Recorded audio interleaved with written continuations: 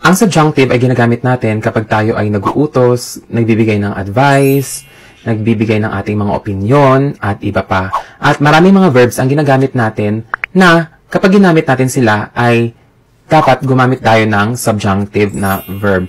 So, meron ako ditong list ng mga verbs na kung saan kapag ginamit mo sila, ito ay nagpo-provoke na gumamit ka ng isang verb in subjunctive mood.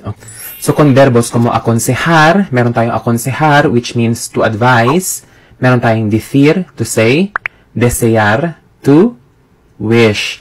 Necesitar, to need. Pedir is to ask. Querer, to want. Prohibir, prohibit. Que expresan deseo, so when they express wish, mandato, mandate, consejo, advice, permiso, permission, prohibition when it doesn't allow you to do something, and when you want to express your feelings. Okay? So, ha- halimbawa na lamang sa ating libro, nakalagay, Esperamos que volváis el próximo año.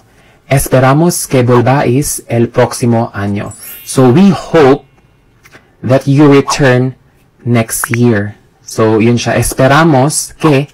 So, normally, pag may que doon, tapos yung verb mo na may wish, esperamos que, yung next na verb niya is in subjunctive mood. So, esperamos que volváis. Te aconsejo que vuelvas a llamar esta tarde. Te aconsejo que vuelvas a llamar esta tarde.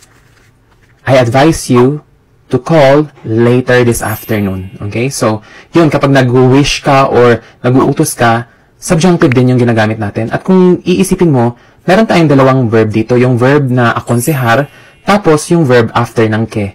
Te aconsejo que vuelva a llamar más tarde o vuelvas a llamar más tarde. Okay? So, yun yung kaibahan kapag infinitive lang sa subjunctive. Sa subjunctive, meron tayong dalawang verbs. So, hope that you guys learned something today about the subjunctive mood and I'm gonna see you next time. Muchas gracias.